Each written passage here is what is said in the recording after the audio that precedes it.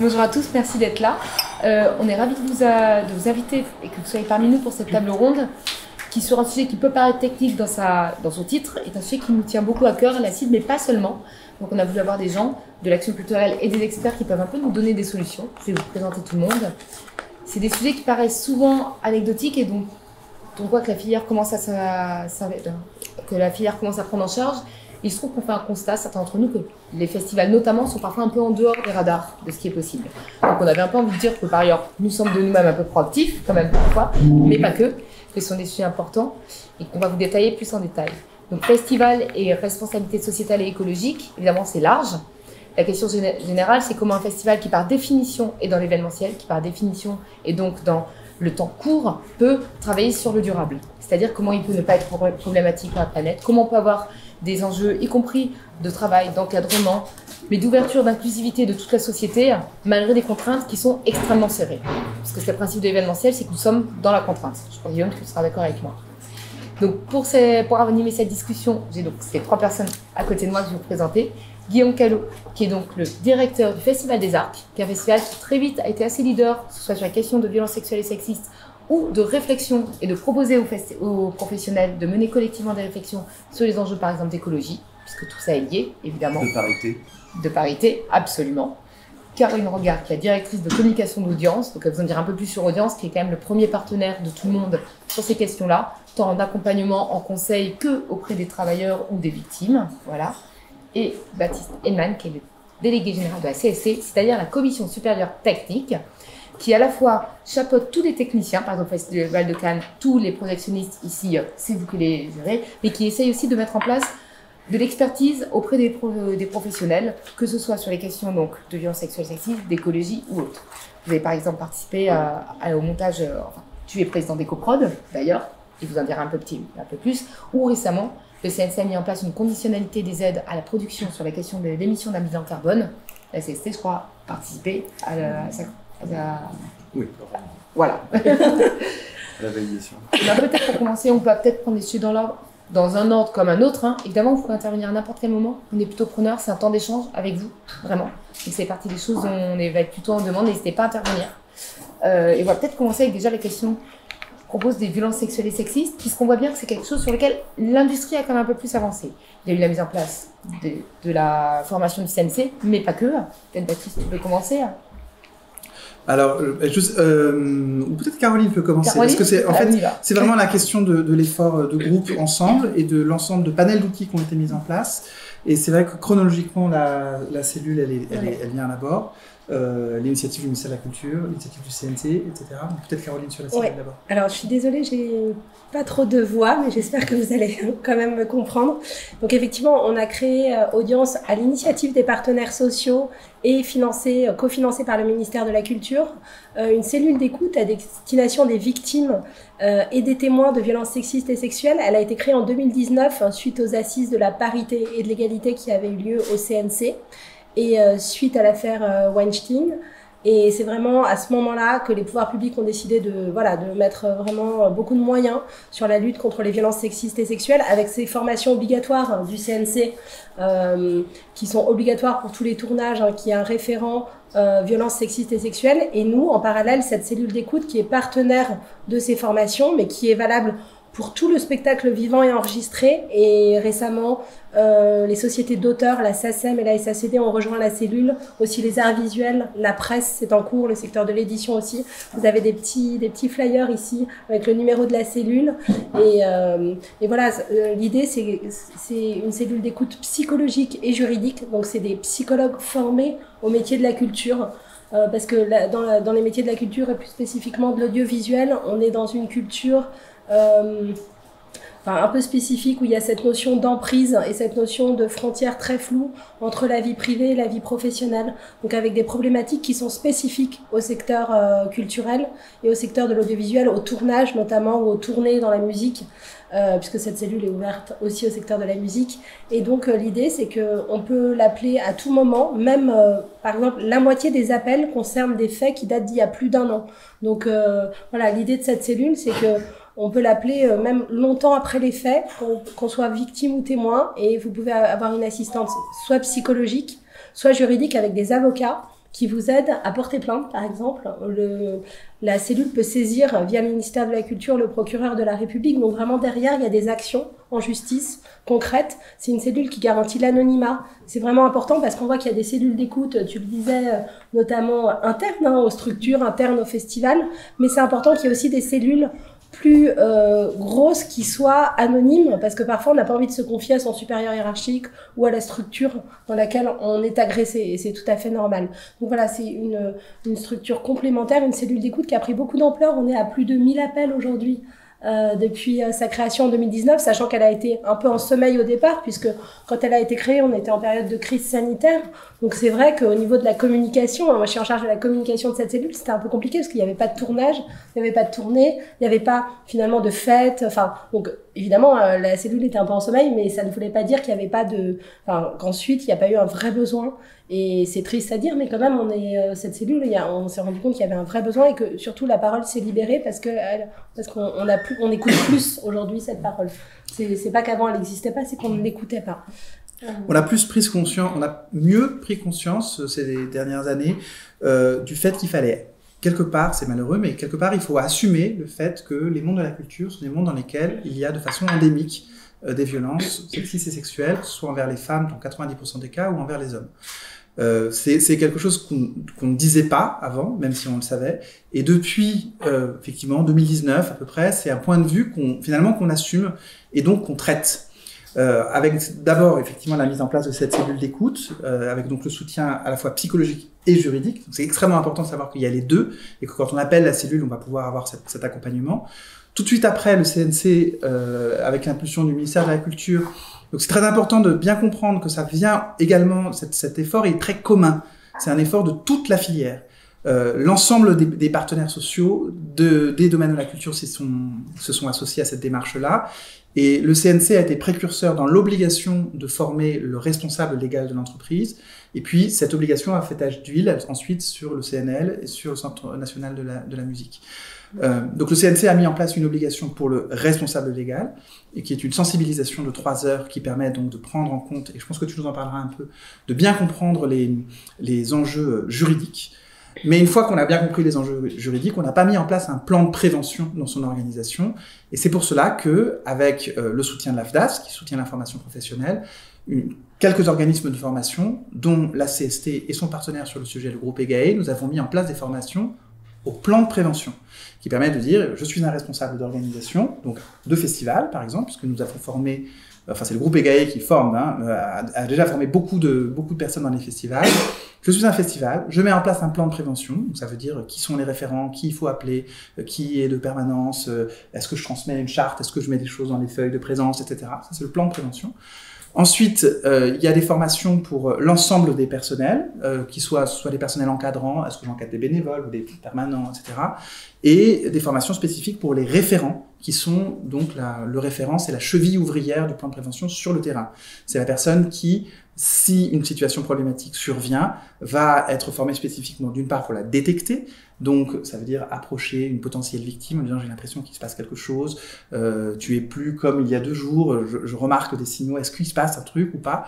Et de savoir donc déclencher le plan de prévention euh, et de faire appel peut-être à une structure tierce pour faire une enquête, etc. et enclencher le, le, le process. Euh, moi, j'insiste énormément et donc euh, oui, euh, la commission supérieure technique de l'image et du son, pour ceux qui ne me connaissent pas, on est l'une des plus importantes euh, associations de techniciens du cinéma. Euh, et, comme je disais, on, assume complètement euh, qu'il faut que cette situation change, cesse, mais qu'elle est endémique de notre secteur.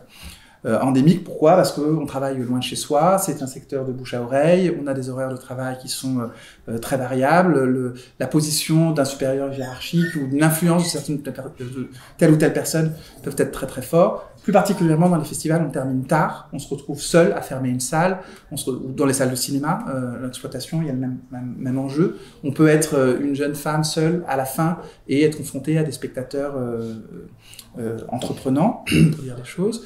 Euh, voilà, ce sont des situations qui sont endémiques de notre secteur, il faut les prendre en compte et, et, et les assumer. D'où ces formations que nous avons mis en place et qui peuvent voilà, concerner l'ensemble l'ensemble des, des personnels. Et c'est vrai que par exemple sur les festivals, Guillaume, peut-être tu peux dire un peu un mot sur la spécificité et ce qui fait que vous, vous êtes engagé de façon assez volontaire et volontariste mmh. dans, ces, dans ces réflexions, Zach. Ouais, ouais, alors moi je suis un expert en rien, euh, mais euh, par contre je peux apporter. En festival, oui. Je peux apporter un témoignage en tant que, que responsable et, et, personne qui, qui est sensibilisée à, peu près à tous les sujets dont on parle au fur et à mesure. Et c'est assez intéressant de, d'avoir le témoignage aussi de quelqu'un qui part de pas de bas parce que je suis pas non plus euh, euh, insensible aux choses, mais euh, qui fait en sorte que, que, les choses progressent. Et sur ces sujets-là, c'est vrai que à titre personnel, j'ai donc fait la formation du CNC et elle, elle m'a beaucoup appris, alors que je pensais en savoir énormément hein, sur le sujet, puisque en fait je m'occupe également avec Fabienne Sylvestre du, Lab Femmes de Cinéma qui est sur la parité. On aura peut-être l'occasion d'en reparler. Euh, mais euh, sur, euh, sur les sujets de, de violences sexistes et sexuelles, moi j'ai été vraiment étonné de deux choses. Donc c'est un, avoir des définitions précises de, sur de quoi on parle, hein, qu'est-ce qui est OK, qu'est-ce qui est pas OK, et et deux, de ma responsabilité en tant que euh, euh, dirigeant d'une association qui, qui, qui, emploie des gens et qui peuvent se retrouver victimes. Euh, parce que, en fait, par exemple, hein, je donne un exemple, mais un truc qui se passe le soir en dehors des heures de travail, si tant est qui est on va dire en dehors du festival parce que sinon pendant le festival c'est vraiment une immersion totale. mais en dehors des heures de travail n'existe pas vraiment au festival. Non, et ça fait partie des, de ce qu'on disait comme des facteurs contribuant à avoir un texte Non, mais même, par exemple, un pot entre collègues, à, je sais pas, à la fin d'une journée de travail en préparation, euh, s'il se passe des choses euh, et que je ne fais rien, et que je suis au courant et que je ne fais rien, j'ai j'ai une forme de, de, de, responsabilité. Donc ça, ça, ça nous a euh, beaucoup marqué et puis surtout, on, on, a eu envie, en fait, d'expliciter les choses. Parce que dans un festival, tu l'as dit, alors je sais pas si c'est endémique à un festival, mais c'est un moment très festif. Et dans les moments festifs, eh ben, il se passe des choses, et il se passe des choses qui sont très sympas, hein, euh, il y a des choses qui sont tout à fait consenties, et puis il y en a d'autres, ça va du malentendu euh, jusqu'aux choses non consenties. Donc il faut vraiment euh poser les limites, expliquer expliciter les choses. Donc on a repris, moi, ce que j'ai appris euh, dans cette formation CNC en disant ça, ça ne passe pas, ça, ça. De quoi parle-t-on quand on parle de violences sexistes et sexuelles Et euh, on l'envoie à toute l'équipe. Enfin, en fait, c'est dans le kit euh, quand les gens arrivent. Et on l'a aussi envoyé à tous les participants. parce que on veut qu'il y ait une base claire. Et, et ça nous a semblé hyper important que les gens, quand ils arrivent, ils aient cette base claire et que euh, voilà, euh, euh, enfin faire la fête et puis se retrouver ensemble le soir n'est pas un problème en soi, parce que c'est souvent ce qu'on entend. Ouais, mais ça va, attends, c'est, la fête. Oh, on était bourré, oh, j'ai pas fait gaffe. Bon, ok, super, mais en fait, il y a un cadre, quoi. Il y a des choses qui, qui existent. Donc, nous, ça nous a vraiment semblé important de le, de le, mettre noir sur blanc, et puis, bien sûr, donc d'avoir des, des référents. Et c'est vrai, ce que tu dis aussi, c'est vachement bien d'avoir un, un numéro aussi externe parce que parfois les, les gens sont. Alors nous, on a deux référents parce que on, se dit euh, si tu ne te sens pas assez à l'aise avec telle personne pour des raisons personnelles, il y en a une deuxième. Et si avec la deuxième ça ne va toujours pas, il y a aussi ce, ce, numéro euh, euh, qui, qui, permet de, voilà de parler. Et puis c'est bien parce qu'il y a aussi beaucoup de choses qui peuvent se régler. En au, au, début d'un malentendu et qui peuvent éviter que les choses s'enveniment. Et bien sûr, euh, si ça va trop loin, heureusement, jusqu'à présent, on n'a pas été euh, confronté à des choses euh, graves, mais ça peut, voilà, ça, ça, ça, ça, peut aussi faire tomber une certaine un certain sentiment d'impunité. C'est vrai qu'il y a un sentiment, il y a un problème de, une, une, problématique de temporalité. Parfois, il faut du temps pour digérer et pour finalement se dire je vais aller porter plainte. Et, et, surtout sur un tournage, moi je donnais cette image d'un avion quand il est quand on est en vol, parfois une hôtesse de l'air va pas dire je vais arrêter le vol euh, parce que, euh, enfin, on peut pas arrêter un vol en plein, euh, en, voilà, en plein trajet. Et c'est pareil pour un tournage. Parfois, on culpabilise ou dans une tournée, une personne qui est dans les équipes techniques ou qui est un peu clé va pas vouloir casser l'ambiance entre guillemets. On est dans des métiers un peu paillettes aussi, et, et, et donc il va falloir parfois du temps pour digérer, pour finalement oser et on ne se rend pas forcément compte du mal que ça nous fait profondément sur le sur Et ça, il faut savoir qu'on peut avoir du temps pour le faire. Hein. Vous pouvez le faire même un an après. Et puis, dans les statistiques, on a quand même 25% d'hommes qui appellent. Hein. Donc, c'est pas une affaire seulement de femmes. C'est une cellule qui s'adresse vraiment à tout le monde. L'importance de, de, de, de, partager un vocabulaire commun via la formation, via euh, de l'information, euh, c'est aussi les, les, victimes, elles mettent par, les victimes, elles mettent parfois du temps à comprendre ce qui s'est passé et à identifier le fait qu'elles ont été effectivement, effectivement victimes d'un geste de, de, violence. La cellule est ouverte aux témoins aussi. Et c'est pour ça que la cellule est ouverte aux témoins. C'est pour ça que c'est important de se former pour, pour savoir que une main aux fesses, c'est un acte d'agression, c'est pas un geste sympathique le matin. Voilà, il y a des choses. Et sur les violences sexistes et sexuelles, ce qui est très intéressant à ce que tu as dit là aussi, euh, c'est qu'en fait, euh, on a toutes les solutions. Parce que tout est dans la loi. C'est pas très, c'est pas euh, farfelu, c'est pas complexe, c'est pas compliqué, c'est la loi. Il y a des choses qui sont dans la loi. Il y a une jurisprudence qui est longue comme le bras. Il y a des procès tous les ans. Ça fait des années qu'il y a des procès. Donc en fait, il y a, il y a, en vrai, il y a, il y a pas d'ambiguïté sur ce qui est une agression sexuelle, un geste sexiste, etc. Euh, il y a énormément. Enfin, enfin, il y a quand même le risque, enfin, que, beaucoup de personnes ressentent encore, de se faire griller dans le métier. Il y a quand même, on est quand même dans un métier où le, la réputation est quand même très importante et où parfois les gens ont peur de témoigner en se disant je vais me faire griller avant même qu'il y ait eu éventuellement une condamnation. Et on le voit aujourd'hui avec euh, l'affaire de Pardieu notamment. Enfin voilà. Oui oui oui. Après il y a d'affaires où on n'ose pas parler ou on, du temps. on, peut ne pas oser parler mais il n'empêche que sur la qualification des faits devant le juge il n'y a pas d'ambiguïté. parce qu'on on en parlera après sur la partie écologique on va voir que là c'est les solutions elles on, elles sont moins claires. On, avance mais personne ne sait vraiment. Alors que allez-y sur ce sujet là c'est plus clair non, c'est juste une question. Euh, vous parlez de gestes. Euh, moi, j'ai une question sur les propos. Euh, nous, on a été confrontés à des gens qui ont tenu des propos. voilà. Mais vous, en le festival de Brie. Vous, le festival de pardon, le festival de des propos ressentis comme une agression sexiste de fait par la personne qui les a entendus, et qui plus est avec un problème de hiérarchie, c'est-à-dire que la personne qui les a entendus le supérieur hiérarchique. est témoin, euh, enfin c'est le supérieur hiérarchique qui la personne qui l'a agressé. Euh, c'est encore plus grave dans ce cas-là, quand il y a une notion d'ascendant. Mais en fait, par exemple, sur le site de la cellule, vous avez toutes les définitions, mais ça, peut être une agression sexiste. Ça peut être qualifié d'agression. Euh, à l'époque, parce que je parle de faits qui, remontent, moi j'en ai connaissance puisque la, la personne est venue me dire et, mais franchement, bon, c'était effectivement il y a quelques années, il n'y avait pas tous ces outils. Euh, et, honnêtement, par rapport à ça, on était vraiment euh, dépourvus. Hein, euh, et, en plus, difficile pour nous de mesurer, vous voyez ce que je veux dire, la, gravité de la chose quand on l'a pas vécu soi-même et qu'elle est juste rapportée, mais avec des témoins, etc et, du coup, on n'a rien fait. c'est vrai que sur le papier. Je, je reconnais humblement qu'on n'a absolument rien fait. On a rassuré la personne, etc. Et on a fait en sorte que ça ne se reproduise pas, mais c'est tout. D'où l'importance, je dirais, de préparer à l'avance le plan de prévention. Parce que le, le, fait de faire un plan de prévention, de le concevoir, et je le répète, avec le, groupe EGAE peut vous accompagner là-dedans, euh, dans, dans, ce genre de démarche, ainsi que d'autres organismes. Hein, euh, l'importance de prévoir à l'avance un plan de prévention, c'est comme une assurance les assurances, euh, on, espère toujours qu'il n'y aura pas l'orage qui fera que le festival euh, s'annule. Hein. Les, assurances, c'est des choses. Euh, on espère toujours que l'événement n'a pas lieu. Un plan de prévention, c'est une assurance contre, mais ça permet de, de, de préparer, éventuellement dans l'équipe de direction d'en discuter et de se dire si jamais il y a telle chose, qu'est-ce qu'on fait? Est-ce que voilà, est-ce qu'un recadrage suffit? Est-ce qu'il faut qualifier les faits? À qui on fait appel? Et tu parles d'assurance justement. Le CNC a conclu un premier accord avec l'assureur Rubini, je crois.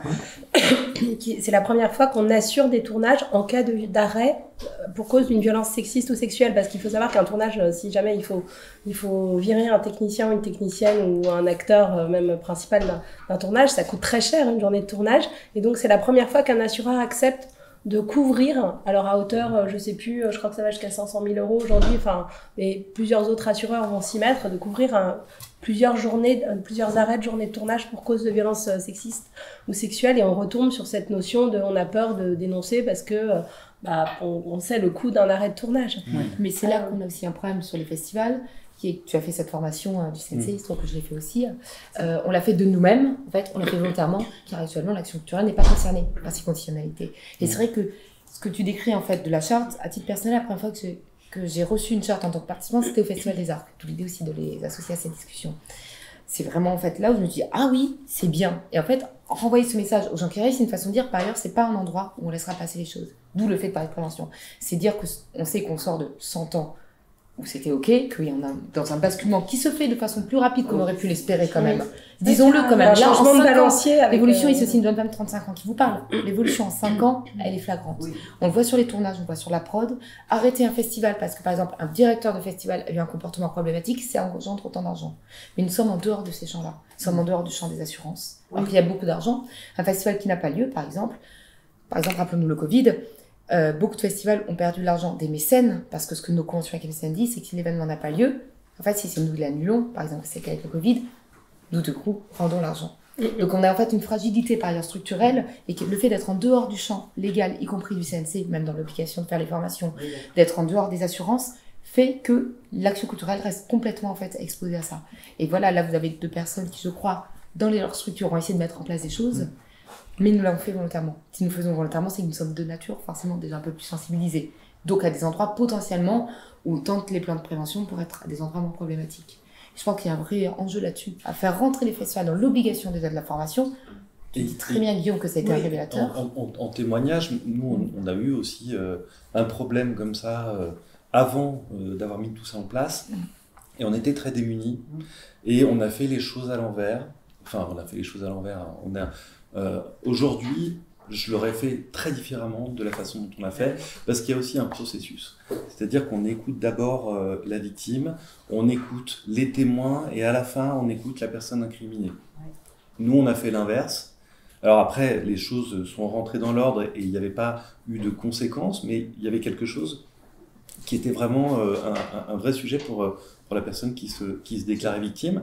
Et, et, et voilà, et quand on est prêt à ça, c'est ça, c'est de la prévention. C'est comme euh, les premiers secours. Il y a un mec qui saigne, euh, qu'est-ce qu'on fait? Bah, Si on n'a pas fait les premiers secours, on ne sait pas quoi faire. On peut faire des conneries. Et puis si on l'a fait, ben, on sera peut-être pas parfait, mais en tout cas, au moins, peut-être faire un garrot et sauver un truc. Quoi. Ça veut dire que nous, concrètement, collectivement, euh, sur le festival, enfin, on est carrefour des festivals, du coup, on pourrait peut-être, à minima, inciter nos collègues, enfin, s'inciter collectivement déjà à faire la démarche. Déjà, vous, en tant que festival, vous êtes éligible au, à la formation, à la formation oui. que nous faisons, puisque c'est le soutien de l'AFDAS. Et l'AFDAS, c'est obligatoire ou pas? Alors, je pense que là, vous parlez de deux formations. il y a deux formations différentes. Il y a celle du CNC. Voilà, celle du CNC qui est sur une demi-journée, qui est la formation légale. Et là, je peux dire aussi nous ce qu'on a fait à l'ACID, parce que j'en avais parlé après avec même des membres de 50-50, mais il y a, nous, c'est ce qu'on recommande, c'est la formation légale. Mais elle n'est pas obligatoire qui n'est pas obligatoire pour nous. Pour notre champ. Euh, dans notre champ, voilà. C'est obligatoire pour les productions. C'est ça, obligatoire pour producteurs exploitants à ce stade. Je pense que l'action culturelle et les festivals, encore une fois, un festival, c'est comme un tournage. Vraiment. C'est les, les, mêmes, c'est les mêmes risques, c'est les mêmes facteurs, voilà. Euh, L'alcool, gratuitement en open bar en plus, ce qui n'est pas un facteur minimaliste, on, va dire. Pas, on voit pas ce à quoi tu fais allusion ici à Claire. Voilà, absolument. Et donc cette partie-là, par exemple, moi, l'acide, je l'ai faite en tant que générale, mais deux présidentes l'ont faite également. Parce que légalement, ce sont elles qui, par ailleurs, qui sont responsables. Nous sommes une association, comme la plupart des festivals, disons-le. Et à côté, il y en a une autre qui a un plan qui permet de mettre en place un plan de prévention de trois jours. Donc, par les Baptiste. À la CID, nous l'avons, il y a des personnes qui l'ont également fait. Deux membres de l'équipe en CDI, et c'est important pour avoir aussi euh, garantir la stabilité de ces personnes-là qui ne sont pas les, la déléguée générale, donc moi ou les présidentes. De façon à ce qu'on sorte du rapport de hiérarchie et que personne ne vienne se plaindre de, raconter quelque chose en allant voir son ou sa bosse. C'est quelque chose que nous, on a vraiment volontairement mis en place comme ça. Et des membres du conseil d'administration. Un homme et une femme aussi. Avec l'idée, du coup, ce qu'a fait quatre personnes qui font ces formations, ce qui laisse un pourcentage d'interlocuteurs. Voilà, je crois que la plate s'en prend en charge jusqu'à 5 par structure. C'est pas mal. Gratuitement. C'est pas mal et surtout pour des structures qui sont par ailleurs financièrement fragiles, on va le dire aussi, hein, on a quand même un vrai problème financier. Là où on se dit, ok, en fait, je libère du temps pour l'équipe pour qu'ils le fassent, parce que c'est important, c'est une chose, mais ça ne nous coûte pas. Et forcément, on est dans des perspectives, on a des, c'est toujours des choix budgétaires. Voilà, et, et qu'autant sur l'emploi du temps, on arrive à le faire, autant budgétairement, c'est toujours plus compliqué, hein, vraiment. Mais c'est, on est quand même très accompagné là-dessus. Euh, et nous, la cellule, on peut vous envoyer gratuitement un kit de prévention euh, physique et numérique que vous pouvez voir. Là, il y a une affiche, par exemple, derrière vous. Il y a des flyers, vous verrez, même des petits autocollants que vous pouvez placarder, par exemple, dans les toilettes, sur les tournages, euh, enfin, voilà, dans les bureaux. Et ça, on l'envoie gratuitement. Il suffit de nous demander, on vous l'envoie sur le lieu de votre choix. Et le fait juste de placarder, même en amont, et de distribuer, il y a, des, il y a les définitions hein, sur les flyers. Qu'est-ce qu'une agression sexuelle? Qu'est-ce que selon pratique ça... Euh, Sur le site de la cellule, il y a un kit média et vous pouvez demander. Il y a un mail. Il suffit de nous envoyer un mail. Oui. Le, site de la cellule, vous allez voir, il est sur les flyers. Euh, il suffit de faire la demande et juste le fait de faire de l'information en amont déjà, ça montre qu'on est soucieux et ça, ça fait de la prévention. Et, puis là, et, nous, les formations sur, le site euh, formation au singulier .cst.fr comme commission supérieure technique. Et là, vous avez nos formations et donc l'accès euh, pour les formations à la prévention des CST.fr. Formation.cst.fr. Après, je, je, prends une casquette un peu différente, qui est celle, je trouve que la CID est membre de la Fédération d'action culturelle cinématographique. Voilà, comme d'autres personnes dans le pièce, on leur a relayé évidemment cette, euh, cette table ronde. Et c'est vrai que c'est quelque chose qu'on s'est dit collectivement qu'il fallait faire, on en parlera peut-être plus tard, mais faire une communication à l'ensemble des structures d'action culturelle. Après, néanmoins, je pense que la conditionnalité des aides avec l'obligation est un, étape indispensable. Et vraiment, je crois qu'on on a tous le constat et l'effet bénéfique sur la production. Il n'y a pas de raison que dans l'action culturelle, on soit un peu plus idiot qu'en production. Ça aura sans doute le même, le même bienfait, je pense. Et avec l'espoir parallèlement que ce hors-champ effectivement que tu évoquais sur ce domaine, euh, ne soit plus non plus un hors-champ sur la question du soutien à la relance dont sont exclus aujourd'hui euh, économique, hein, s'entend, euh, nos structures. Et tout est très lié, parce qu'on parle, euh, on parle ici aussi de, de, de social. Euh, évoqué, il voilà, la question des permanents, la question de la consolidation des postes, la question de. Voilà, je trouve que ça anticipe les, échanges de demain à 16h, et je trouve que tout est très, très, très impliqué. Oui.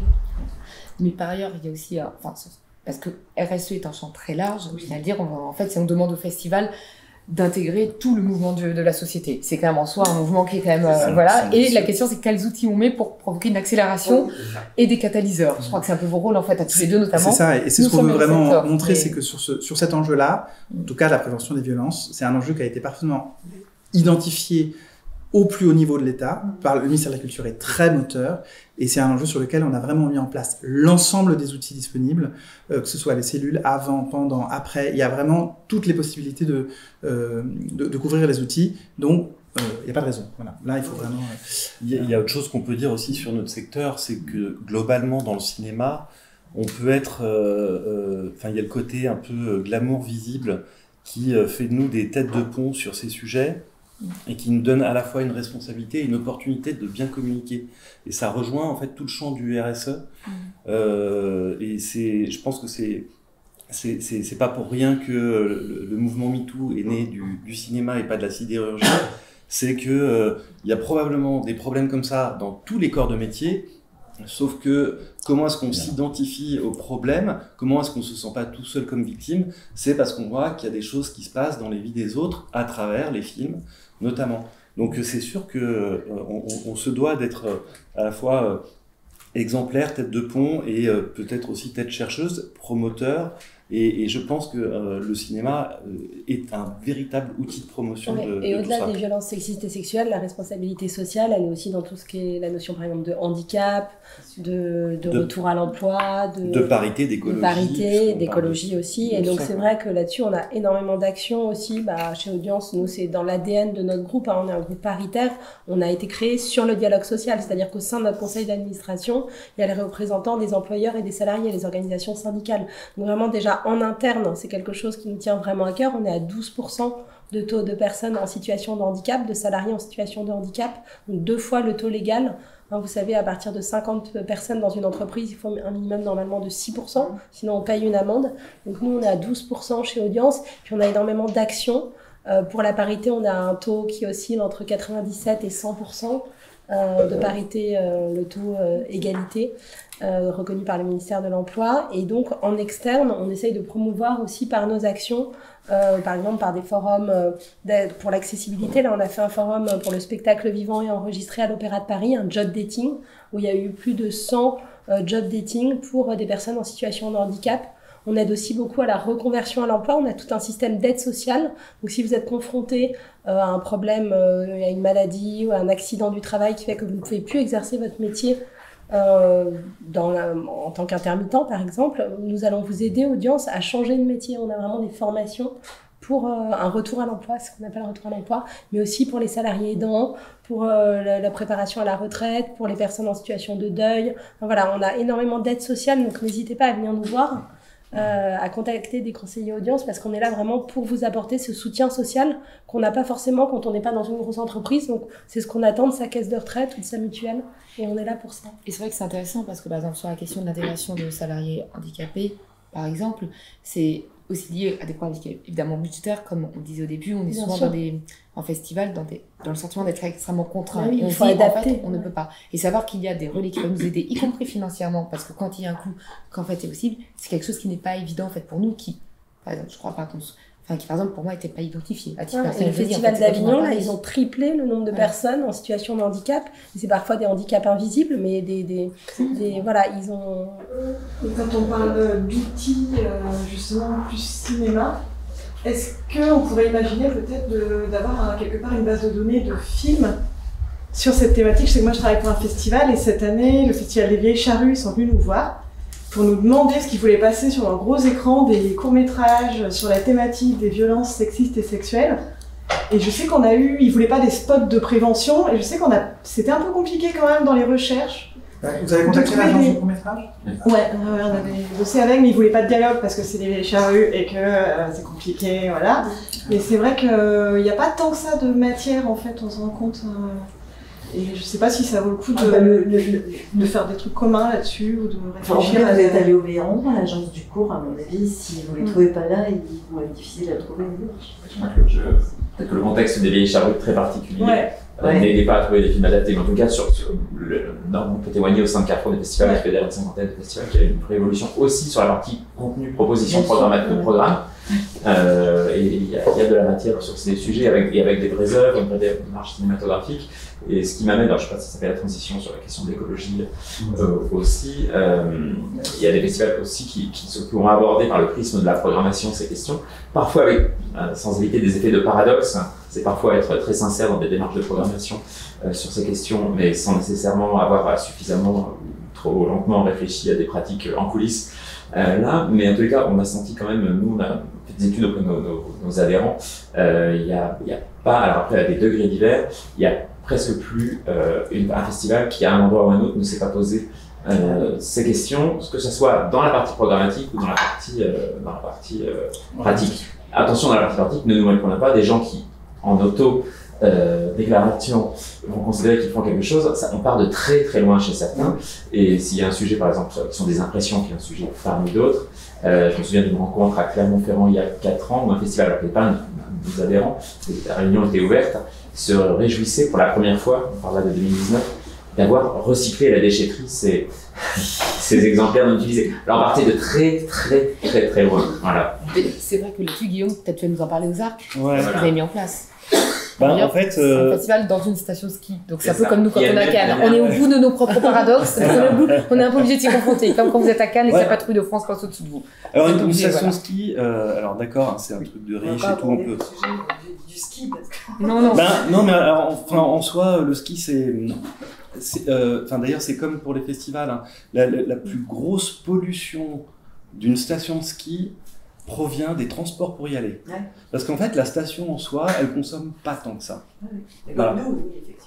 Après, on peut aussi parler euh, des remontées mécaniques qui défigurent la montagne, hein, bien sûr. mais, euh, mais en fait, en soi, c'est pas si horrible une station de ski. Cadre à neige. Ben, ouais, les canons à neige, tu sais. non, je pense que la question n'est pas le ski, c'était pour la blague. La question n'est pas là. Mais en fait, si vous voulez, nous, euh, depuis le début euh, au Festival des Arcs, euh, on a une conscience écolo des, des, choses. Enfin, en tout cas, je croyais. je vais vous raconter un peu l'histoire, mais et puis on, on, faisait à chaque fois un, un, petit bilan sur sur ce sujet. Tout le monde s'en foutait à peu près. Et, euh, et puis moi, à chaque fois que je venais, je disais, ah, on essaie de faire mieux, ouais, ouais, ouais, c'est bon, on verra plus tard. Et euh, en 2019, euh, on, a, on a vu une chose apparaître, c'est après les élections européennes, qu'il y avait, que le sujet écologie montait fortement. Et là, on s'est dit, en fait, euh, ça y est, c'est le moment où si on remet ce sujet, peut-être que les gens s'en foutront moins. Et en effet, euh, c'était, euh, je pense que c'était vraiment le, bon timing, parce que avant, quand on parlait d'écologie, c'était un peu... Euh. Et, là, en fait, on, on a tout remis à plat, et on s'est posé la question, parce que tu disais tout à l'heure, euh, un, festival, euh, on peut être vertueux. Non, on pourra jamais être vertueux. Je veux dire, à partir du moment où tu fais venir des gens de toute l'Europe euh, en avion, quoi qu'il arrive, tu es une source de pollution, faut se le dire. Parce que si tu commences pas par là, si tu... Enfin, voilà. Après, à partir de là, est-ce qu'on arrête de faire un festival ou est-ce qu'on arrête de faire venir des gens de toute l'Europe? On s'est vraiment posé la question. On a, posé la logique jusque-là. Et on s'est dit euh, deux choses. Bon, d'une part, pour nous, euh, euh, un festival de cinéma, et quand, comme nous, on a des invités professionnels qui sont là pour des événements professionnels qui vont faire que le cinéma européen se renouvelle, il nous semble important qu'il y ait des endroits pour se rencontrer et de faire des rencontres humaines. Et d'ailleurs, la preuve, c'est que deux ans plus tard, un an plus tard, on a, on a fait une édition en ligne, c'était faisable, mais c'était nul, honnêtement. On a vraiment besoin de se rencontrer humainement. Il y a un côté humain, il y a le côté culture qui sont vraiment très importants et que nous, on s'est dit, ben, faut quand même faire un festival. On est désolé, ça pollue, mais on pense que c'est quand même important de le faire. Après, évidemment, euh, on peut se regarder et se dire, comment est-ce que je peux faire mieux? Et là, on a vu, mais un champ de trucs qu'on pouvait faire, mais tellement mieux. Mais des trucs cons, hein, mais euh, on arrive en festival, enfin, moi, je me, je me suis fait cette réflexion en arrivant dans un festival, on file le fameux sac avec dedans tous les trucs des partenaires, machin. Je le mets sur le lit, je balance les trois quarts des trucs à la poubelle direct. Mais c'est absurde. Et puis euh, nous, on voit tout ce que les partenaires amènent. Et ils amènent leur magazine, ils balancent, ils amènent une palette, ils récupèrent rien, ils en ont rien à foutre.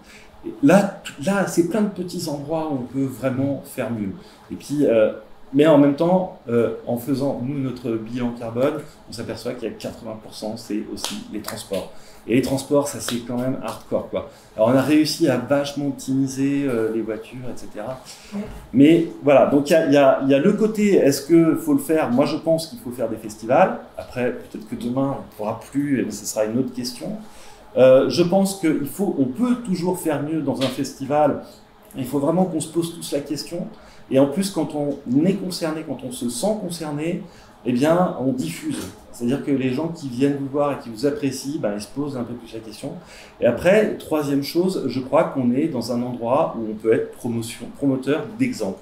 Et c'est là où on a fait notre programme euh, Déplacer les montagnes, dans lesquels euh, on remet un, prix chaque année euh, à un film euh, qui va parler de, thèmes d'écologie, du handicap, euh, voilà des, thèmes des grands thèmes sociétaux et qui pour nous accompagnent un monde qui change. Parce que pour nous c'est vraiment euh, hyper important que euh, le cinéma euh, on l'utilise aussi comme comme je le disais tout à l'heure comme un outil de, promotion du changement de nouveaux récits parce qu'en fait c'est beaucoup les récits. Enfin, je veux dire quand vous avez dans un film des mecs avec des bagnoles qui vont super vite et que c'est vraiment le kiff quoi et qu'en plus il fume sa clope, il la jette par, par la fenêtre et c'est cool, putain. C'est ça notre récit aujourd'hui, le récit le majeur. À un moment donné, euh, est-ce qu'on peut euh, euh, faire en sorte que dans les tournages, il n'y ait plus ces trucs-là, quoi? Que la, la, le médecin, c'est plus un vieux bonhomme, mais une jeune femme noire. Je ne sais pas. Enfin, il y a plein de choses comme ça. On arrête de boire du coca à table dans les dans les films. Enfin, c'est alors évidemment, faut faut pas que ça ça trouble le l'aspect artistique. Hein. Je parle vraiment de quand c'est neutre. Hein, économique avec le placement de il y, a, il y a un guide qui s'appelle le guide de l'écran d'après, dont on est partenaire, qui vise aussi justement à optimiser les bonnes pratiques sur les tournages, euh, comme on le fait aussi avec l'éco-prod, euh, qui, enfin voilà, l'éco-responsabilité sur les tournages. On essaye d'œuvrer, enfin, ça va peut-être en parler, Baptiste, d'éco-prod. Peut-être tu peux nous dire un mot sur l'éco-prod, tous les deux. Oui, oui, oui. Euh, bah, Eco, EcoProd, c'est une initiative qui est très ancienne maintenant, qui date de 2009 C'était au départ un collectif et c'est une association justement depuis deux ans. il y a 300 membres maintenant dans EcoProd, donc ça commence à être vraiment un gros, gros mouvement. et c'est donc un collectif qui promeut les meilleures pratiques en termes de protection de l'environnement pour, nos domaines et qui couvre l'ensemble des professionnels du secteur. On a plusieurs types d'outils. Euh, on a euh, comme des formations déjà en premier lieu, parce que la même thématique, hein, c'est-à-dire la première chose, c'est le vocabulaire commun, la compréhension commune des enjeux, comme sur les VHSS, c'est le, même, le même combat, savoir de quoi on parle, pourquoi on en parle, pourquoi est-ce qu'on s'amuse à, essayer de réduire notre empreinte. Euh, réponse, spoiler, parce qu'on va dans le mur, voilà. Mais donc, il y a des formations et de même, comme nous avons avec EcoProd, qui sont financées par l'AFDAS entièrement, entièrement prises en charge par l'AFDAS, des modules de compréhension des grands enjeux, des modules sur les tournages, de comment faire un tournage éco-responsable, qu'est-ce que c'est qu'un bilan carbone, un ensemble de, voilà, de modules complémentaires qui sont, qui sont mis en place et qui sont entièrement pris en charge par l'AFDAS. EcoProd, c'est aussi euh, un calculateur carbone qui est spécialisé pour les tournages, euh, mais il y a aussi des calculateurs dans l'événementiel. Euh, il, il, en, existe plusieurs, vous pouvez les trouver. Euh, EcoProd, c'est un label pour les productions. Donc, euh, les productions qui tournent de façon éco-responsable peuvent se faire labelliser. Euh, c'est un prix, désormais, une deuxième édition cette année, le prix du film éco-produit à Cannes. C'était la remise du prix était ce, ce midi. Et donc, euh, deux, deux, prix ont gagné. Voilà, je vous laisserai chercher. Euh, je me souviens pas du deuxième. Acide, qui est projeté ce soir, c'est le premier. Et Acide de Juste Et là, c'est horrible parce que je, je, je, vous le dirai tout à l'heure. Je, je me souviens plus du deuxième. Et enfin, comme ça, tu pourras en mettre une petite couche. Euh, EcoPro, ce sont des guides pratiques, des fiches techniques, beaucoup d'éléments de documentation qui sont disponibles et dont euh, qui va sortir très très bientôt. Le 3 juillet, on va lancer le guide biodiversité et tournage en milieu naturel. Et nous, on a une experte chez Audience qui s'appelle Marina Esdiari, qui est, membre, enfin, qui est, qui est dans l'équipe fondatrice d'EcoProd, qui, qui diffuse ces, des formations justement. Et si vous êtes démunis, vous pouvez tout à fait venir nous voir, Audience, et nous, euh, Marina, elle se met à votre disposition, par exemple sur un festival, pour vous aider. Et là, euh, on rédige ensemble ce guide voilà. voilà, de tournage en milieu naturel. Et c'est vrai que c'est vraiment une expertise, et elle, elle est experte depuis le départ sujet-là. Euh, quand vous dites tournage en milieu naturel, ça veut dire que vous favorisez les tournages en milieu naturel euh, Non. Alors, c'est vraiment l'explication de que, quelles sont les bonnes pratiques lorsqu'on va tourner dans un milieu naturel, protégé ou non. C'est la même problématique qu'on a quand on va au ski ou quand on va. Voilà, c'est-à-dire on arrive dans un milieu qui est. L'éclairage de nuit, les piétinements, tous ces sujets-là, euh, les pollutions toxiques. Les pollutions toxiques, euh, les contacts, euh, les, réflexes qu'il faut avoir, notamment par exemple avec l'ONF, où est-ce qu'on peut poser ses caméras, où sont les lieux de nidification des animaux, quels animaux on peut ne déranger ou ne pas déranger, voilà, etc. Comment on, limite son empreinte, là non pas vraiment carbone, mais son empreinte environnementale dans la cohabitation. Oui, c'est ça. c'est un faux. C'est un faux. Nous avons demandé sur cet espace. Mais après, c'est une question que nous nous sommes posée. Hein. Le festival de Cannes, on, sait que le festival de Venise, par exemple, fait des ambitions bien carbone et a des actions.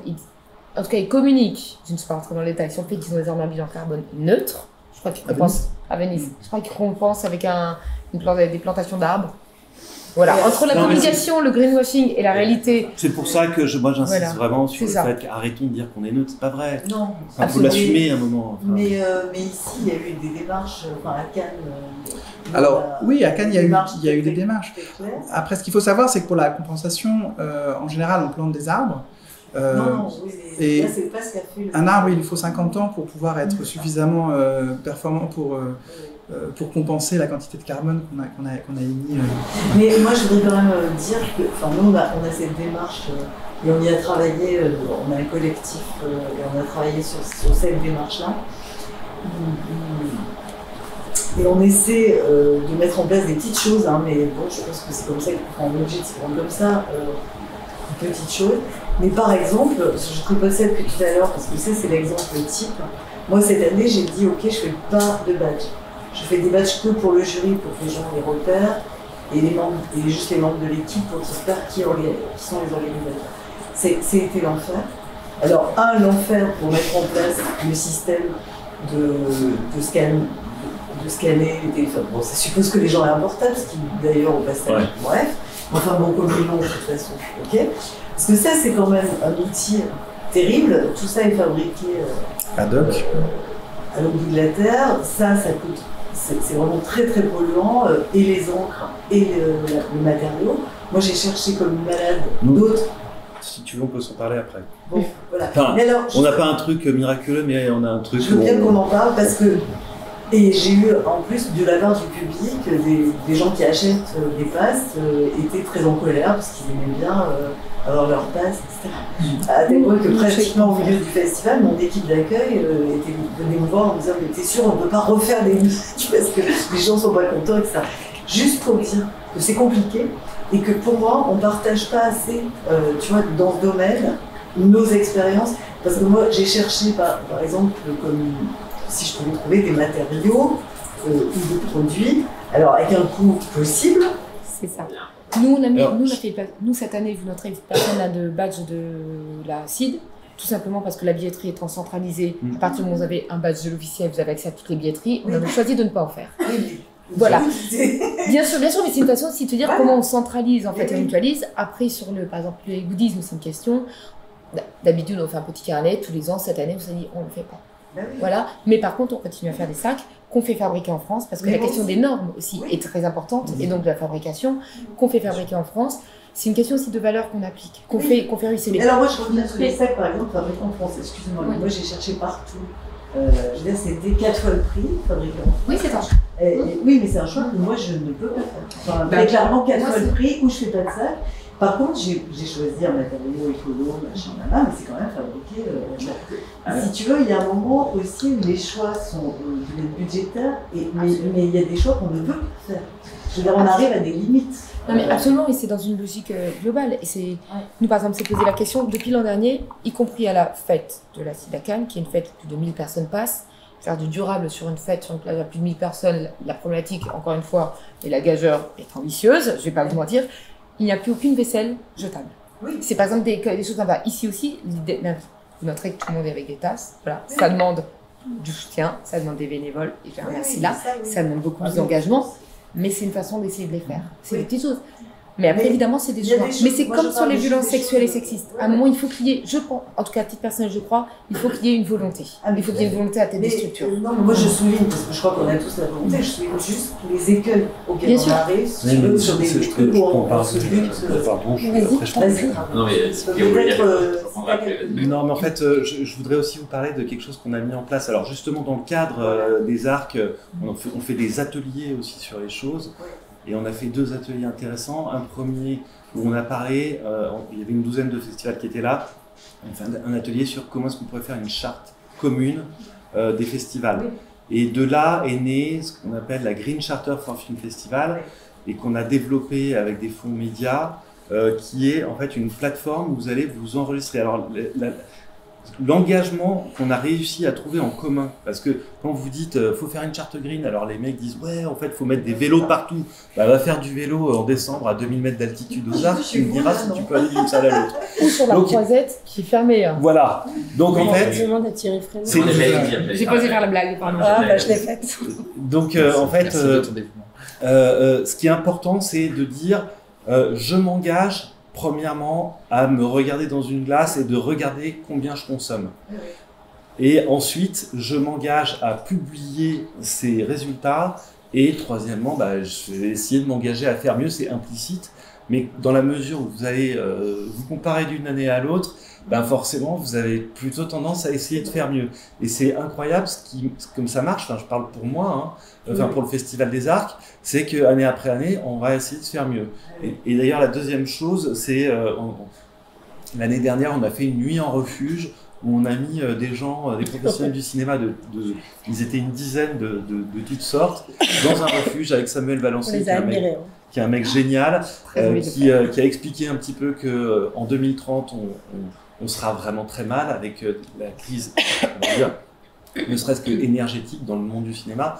Et ils sont, euh, euh, on leur a donné un temps long d'une nuit pour éviter que ce soit une table ronde, puis après tout le monde va boire des coups, machin. Mais vraiment un truc. Et ils sont ressortis avec une, envie de faire un collectif qui s'appelle le collectif 5%, où les personnes qui vont faire partie de ce collectif s'engagent à, à, baisser de 5% chaque année leur consommation, ce qui en fait est les accords de Paris, tout simplement. Et donc ça, c'est des, des, choses qu'on met en place. Je termine juste pour revenir sur la Green Charter. deuxième volet, on va mettre en place une plateforme pour échanger bonnes pratiques, expériences euh, et, et, retours de, d'autres festivals parce que ça, ça nous semble hyper intéressant. Ouais, parce qu'on galère chacun dans son coin. Un, avoir une plateforme où on s'engage tous. Et où sur les, mêmes critères, c'est-à-dire qu'on va, et en plus c'est intéressant parce qu'au bout d'un moment on va pouvoir aussi euh, faire des études, comparer, etc. Et deux, échanger entre nous. Oui. Euh, moi, je me rassure en disant immédiatement au kilomètre carré que le Grand Prix de Monaco, mais bon. Oui. euh, par rapport au stockage du cinéma, je vous explique. Par exemple, nous, les enseignants, on nous a dit pendant il y a 7-8 ans, mettez tout sur Plantris, ça évite d'utiliser le papier, euh, de l'encre, tout ça, etc. Et puis dernièrement, tous ces sites, euh, disons, institués, eh bien, on, on a eu L'inverse, euh, ça consomme trop, euh, enlevez tout ça, revenez au papier, et et ce sont des, c'est, une scientifique qui est venue nous le dire. Alors c'est vrai que ça nous a complètement étonnés. Alors moi je suis resté scotché, hein, je vous dis franchement, quand, j'ai, euh, quand on nous a dit euh, arrêtez, il faut arrêter Pearl Freeze, Canvas, etc. pour les étudiants, pour les, pour les lycéens, tout ça, parce que ça, ça, ça prend énormément d'électricité pour le stockage, parce qu'on oublie d'enlever les documents. Le cinéma a énormément de sites de stockage. Est-ce que c'est un problème qui est, qui est réfléchi, qui est pensé par la profession, ou pas particulièrement, en tout cas pour le moment? Je pense à Vimeo, je pense à tous les sites de stockage, des, milliers de films, voire des millions de films. Alors oui, euh, y a, alors le, le, ce qui est très bien avec la thématique écologique, c'est que c'est une thématique euh, humble. C'est-à-dire que les mêmes les plus grands experts, on est tous enfin, j'en fais partie, mais tous sont très humbles par rapport à l'enjeu, puisque ce qu'on pensait être bien il y a dix ans, on s'aperçoit que peut-être c'était pas la meilleure solution. Par contre, ce qui est très important, comme disait Pauline tout à l'heure, c'est que euh, de toute façon, on n'a pas le choix, il faut faire quelque chose. Et quelque chose, c'est mieux que rien. On oscille, on trouve des pistes, euh, voilà, on réfléchit sur son process, on essaye de dépenser moins, d'économiser. Quitte à se dire que le choix qu'on avait fait au début, bon, c'était un début de première solution et que finalement, on va osciller, on va finir par trouver. Euh, dans le cinéma, oui, il y a beaucoup de, choses qu'on met en place. Euh, euh, là, nous, alors à la CST, nous travaillons régulièrement sur les enjeux de stockage numérique long terme. On a plusieurs textes de recommandations techniques qui couvrent ces enjeux-là. les réflexions sont encore ouvertes. Est-ce que et sur le sur le sur le stockage, en deux mots, il y a deux enjeux. Euh, qui sont très différents. Il y a le premier enjeu du, qui est l'enjeu du support. Euh, quel support on va avoir? Euh, aujourd'hui, le meilleur support pour stocker, ça reste la pellicule. C'est le support qui émet le moins. Euh, qui est le plus durable, puisqu'on sait aujourd'hui que des films qui étaient là il y a 100 ans, on les a encore, donc c'est encore durable.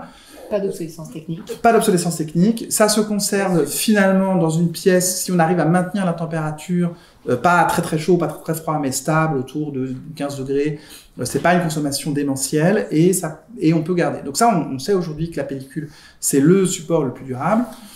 Euh, il n'empêche qu'on peut pas tout stocker sur pellicule, mais c'est un stockage qu'on dit froid. Et le stockage froid, c'est ce qui consomme le moins. Après, il y a l'enjeu du format. Qu'est-ce qu'on va stocker? Comment on va le stocker? Euh, Et la quantité de données qu'on va stocker. Donc on, a beaucoup de, réflexions qui sont en cours. Euh, nous, on a, travaillé à la CST avec, sur un, format, mais on va changer un peu de, sujet, donc je vais pas court, mais de, stockage de données pour les films à 20 ou 30 ans, un format numérique de stockage de données, qui permet de conserver euh, aujourd'hui en but d'une, en prévision d'une réexploitation dans 20, 30, 40 ans, l'ensemble des données sur une forme, dans un format standardisé, normalisé, avec euh, les données, euh, euh, la bande-annonce, le film, le scénario, les données d'étalonnage, qui permettent, lorsque dans 20 ans on voudra réexploiter le film, de pouvoir le réexploiter de façon, de façon simple. Ensuite, il y a des expérimentations. Je vous inviterai à aller voir sur le site de la CST la présentation de Digifilm qu'on a fait à Cannes là au, au début du festival, qui est une petite entreprise qui cherche à conserver du format numérique sur de la pellicule pour essayer d'avoir le meilleur des deux mondes. C'est assez intéressant et euh, vous pouvez euh, vous faire Ce qui est intéressant euh, aussi, c'est de voir, et c'est pas parce qu'évidemment RSE c'est extrêmement large. On pourrait dire que des violences sexuelles et sexistes, la parité à l'écologie, bien en fait, on passe en dessous, mais pas du tout. ce qui est intéressant, c'est voir tout ce qui en termes d'outils a été mis en place sur la parité, les violences sexuelles et sexistes, se décline parfaitement bien. Et quand tu dis par exemple, c'est déjà son propre bilan, c'est ce, cette phrase qui est que pour que les femmes comptent, il faut compter. Et on voit qu'il y a une espèce de prise de conscience par la communication et le fait de compter. Je ne crois pas, par exemple, que dire que les quotas, le fait de compter, va contre l'inclusivité. Bien au contraire. On sait que c'est la première étape, c'est la prise de conscience. Et on voit que ça a très bien fonctionné sur la question des VSS et violences sexuelles, malgré tout, qu'il y a eu une espèce de révélation collective de dire Ah oui, on n'est pas bien en fait, on n'est pas bien. Quand même, à savoir, ah oui, les femmes en sélection en officielle, ça n'a pas bougé en 20 ans. Oups, ça fait des mauvais genres littéralement. Euh, voilà, il y a vraiment quelque chose à cet ordre-là et on voit bien que c'est une façon de fonctionner qui va se dupliquer. Je pense que ça va aller ailleurs. Si on va un peu plus loin, quand on faisait la petite préparation, on s'est dit même, on parle de travail, on peut parler des conditions de travail. Je pense qu'un jour, en festival, on va se mettre à objectivement, pas objectivement, mais objectiver les réalités de conditions de travail plus exactement des travailleurs. Et sans doute qu'on va dire, faut qu'on fasse mieux. Et on fera de 5% en 5% d'année en année sur des prises de conscience. Mais en fait, la question, c'est plutôt comment on duplique les outils dont on voit l'efficacité, la transformation dans le milieu du cinéma qu'il y a eu, en tout cas du côté de la production, puisqu'on voit bien que ça vient toujours de la production, et nous, d'Action culturelle, on a quelqu'un à dire, ne nous oubliez pas, s'il vous plaît, on veut en faire partie, on a envie de monter dans un train qui parfois a tendance à oublier que la, station suivante, euh, c'est les festivals, quoi, c'est important, et nous, on a vraiment envie que les trains s'arrêtent, je pense que comme nous. Hein. Sur les événements pro, je trouve que nous, on peut être en amont. Hein. On, on, peut euh, vraiment influencer moi, Je crois aussi beaucoup à la formation. On est partenaire mm-hmm. du plan Action du CNC qui vise à former les jeunes dans les écoles de cinéma et d'audiovisuel aux, aux enjeux de l'éco-production parce que c'est vraiment dès le plus jeune âge qu'il faut qu'il y ait une culture hein, de l'éco-responsabilité et c'est pour ça que voilà, on a décidé d'accompagner le CNC euh, sur ce plan-là. Il y avait, peut-être une question. Bonjour à toutes et tous. Euh, merci beaucoup déjà pour cet échange. Euh, en plus d'être producteur de cinéma, je donne des cours dans une école de théâtre. Euh, on a été évidemment confronté, euh, par exemple, à la question de MeToo Théâtre. et donc, ça a été des moments d'échange forts avec les élèves qui n'hésitaient pas aussi à aller dans le, à poser des questions franches et donc à se positionner, à échanger ensemble comment penser les cours de théâtre d'aujourd'hui et de demain. Sur la question de l'écologie, effectivement, c'est plus compliqué, on sait moins de choses. Euh, et effectivement, euh, euh, sur la question de la formation VSS, qui s'est retrouvée, en tout cas pour bah, nous en tant que société de production obligatoire, je me demande comment, dans l'écologie, à quand une formation obligatoire, où en fait on n'a plus le droit de ne pas savoir, euh, et, il se trouve qu'à côté, je, suis animateur notamment de, vous avez sans doute entendu parler de l'association qui s'appelle La Fresque du Climat, euh, euh, menée par Cédric Rinkenbach, ou Deep Time Walk, qui est la marche du temps profond, et qui sont des formations qui non seulement effectivement engagent le rapport au calcul, qui est très important, voilà, comprendre ce qu'on émet en CO2 et comment ça s'émet, mais aussi d'essayer d'incarner littéralement dans ces formations, bah, de, de, penser aussi avec le corps. Et donc, c'est en cela où je trouve que ces formations, notamment la fresque du climat pour lequel je suis animateur, et euh, la marche du temps profond sont hyper importantes. Donc voilà, la question, en fait, c'était quand est-ce que euh, bah, le, le, gouvernement voudra bien, un, se former lui-même, parce que je sais que c'est pas le cas du tout, et deux, entendre que, en, tout cas... les fresques du climat, il, par exemple au ministère de la Culture, ils sont en train de se former aux fresques du climat, comme chez Audience, on forme nos salariés, on a des experts qui forment les autres. Donc en fait, il suffit qu'il y en ait quelques-uns qui soient formés, ensuite ils peuvent devenir formateurs. Et là, je sais que ça fait effet boule de neige, que ce soit au ministère de la Culture, au CNC, et je sais qu'au CNC aussi, ils réfléchissent, enfin de façon très sérieuse, là ça va arriver, à l'éco-conditionnalité des aides. Donc c'est vraiment quelque chose euh, qui, va, qui, va, qui va arriver aussi euh, du côté Et les formations, elles sont déjà disponibles, elles sont déjà gratuites, donc c'est peut-être pas obligé d'attendre qu'elles soient obligatoires, on peut les faire maintenant. On peut les faire. Nous, par exemple, l'AFDAS propose, enfin, c'est ce dont on parlait, c'est les mêmes.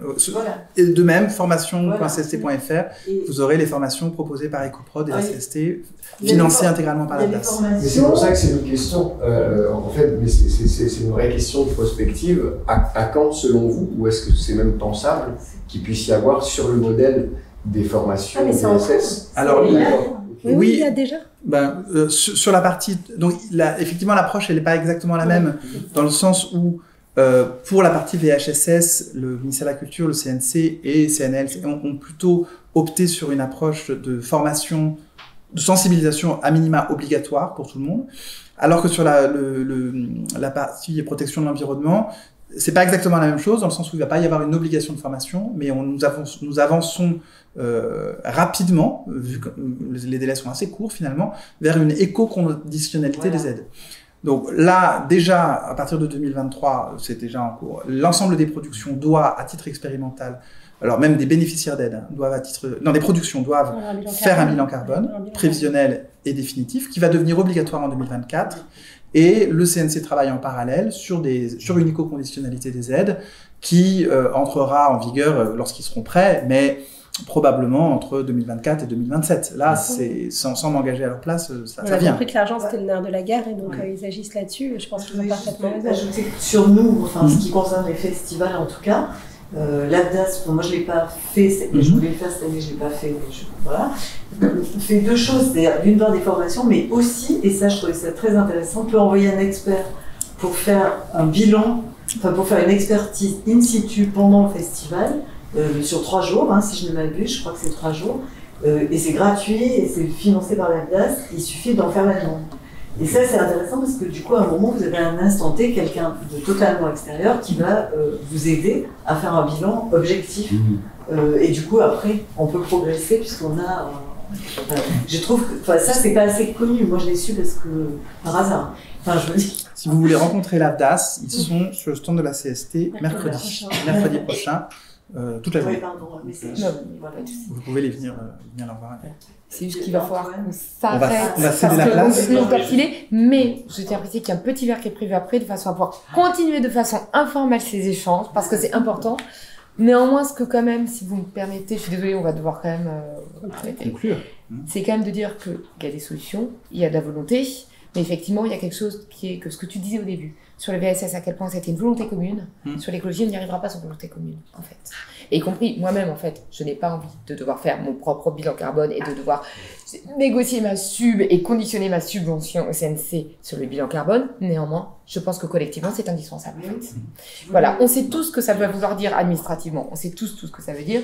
Je pense qu'on ne peut plus en passer. Oui, non. Je pense que, y compris, voilà, on va pas rentrer dans les grands débats, mais c'est quelque chose qui est, voilà. Nous, c'est aussi l'idée d'amorcer cette discussion ici. C'est que je trouve qu'à la CID, on est un endroit qui travaille de toute façon historiquement très différemment. Il n'y a pas de directeur artistique, voilà, on a une façon de, de penser les choses en collectif qui sont un peu différentes. Pour ça qu'on se- s'entend bien avec Audience, Oui, que qu'on qu'on a des valeurs communes, vraiment. Vous pourrez noter qu'ici, nos partenaires, c'est éthicable. C'est aussi quelque chose qui est important, par exemple, de trouver les bons partenaires locaux. Mais en fait, on n'est pas les seuls, puisque je sais qu'il y en a beaucoup d'autres, et nous, on n'est pas plus en avancé, vraiment. Mais c'est vraiment comme, en fait, collectivement, on essaie peut-être de continuer à avancer ces discussions. C'est l'idée de commencer une discussion. Puisque je pense que, comme tu disais, euh, quand dans 10 ans, on se retrouvera tous, peut-être pas ici, ailleurs, on dira, tu te rends compte, il y a 10 ans, disait ça. Oh, la honte, quand même. Sans- il y a- on l'espère. J'espère qu'on n'est pas au bout de la réflexion aujourd'hui, parce que sinon, je pense qu'on est mal parti. Vu les enjeux et les sujets devant nous, je crois qu'on est tous d'accord. Je vous invite à continuer vraiment la discussion. Mais merci beaucoup à tous les trois. Merci. Passionnant. Vraiment.